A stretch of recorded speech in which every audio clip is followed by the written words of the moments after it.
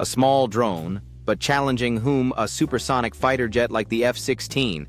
You might think this is a joke, but this is the future. Drones are no longer just toys.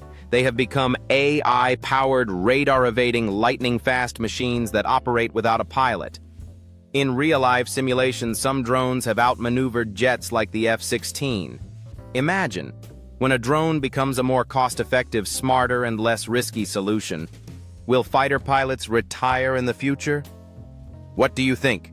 Can a drone defeat an F-16? Be sure to let us know in the comments.